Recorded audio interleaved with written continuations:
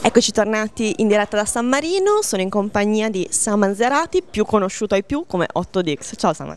Ciao Alice eh, e ciao a tutti quelli che ci seguono.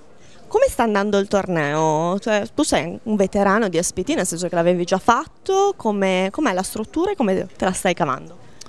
L'avevo già fatto, ho partecipato al, alla tappa warm up infatti e la struttura è abbastanza carina, ci sono 50.000 di stacco iniziale che sono buone anche se portano molti giocatori a pregustarsi molti flop, quindi insomma bisogna stare molto attenti. E qui mi anticipi la prossima domanda, che era come comportarsi con giocatori del genere, quindi comunque con non professionisti, amatori, che eh, quindi tenderanno un po' di più magari a essere con l'instation. Come si comporta il pro in queste situazioni?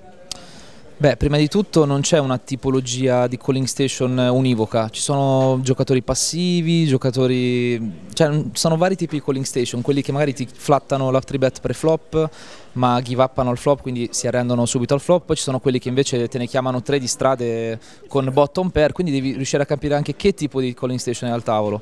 Eh, chiaramente con quelli che vedi che non foldano mai devi giocare solamente per valore se invece trovi quello che magari mh, è disposto a, a, gustarsi sto flop, ma poi arrendersi post flop, magari puoi anche decidere di prenderti magari una strada e insomma folderà probabilmente abbastanza velocemente. E magari anche di giocare qualche mano in più con, con loro, visto che comunque settiamo, settiamo, magari saranno portati a pagarci.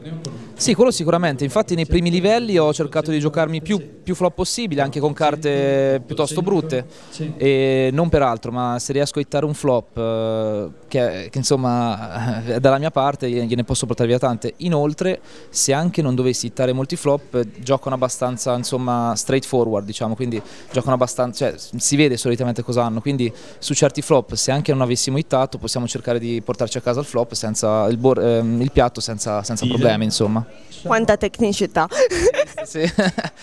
piccole cose piccole piccole piccole perle le pillole famose no? Come, come le chip che mi sono rimaste quattro pillole più o meno, quindi... Però a parlare siamo bravissimi, no, non è vero, Saman non è bravo solo a parlare ma soprattutto a giocare perché i risultati lo confermano. Io ti lascio andare a giocare perché è ricominciato il torneo dopo la pausa. Un grossissimo in bocca al lupo e spero soprattutto di vederti a Londra.